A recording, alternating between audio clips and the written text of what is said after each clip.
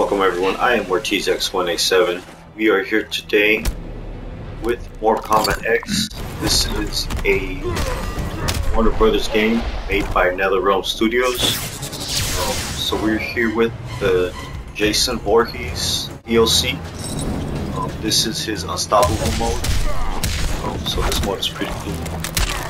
Um, if you have any meter at the end of your match, like say when you die, um, end up using that meter to come back to life. And uh, depending on how much meter you have, how much life you get. Um, so he's got a couple of command grabs. And I'm showing off right here, trying to combo into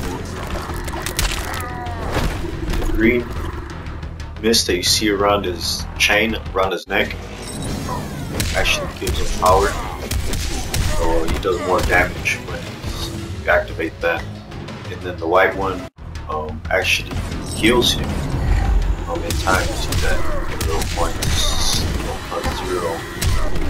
0.025 or something comes up.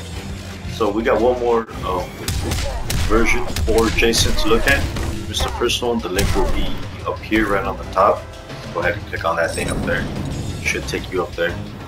Um, so if we get a couple likes and shares on this video, it would help me a lot. That's all, man. You guys on the next video.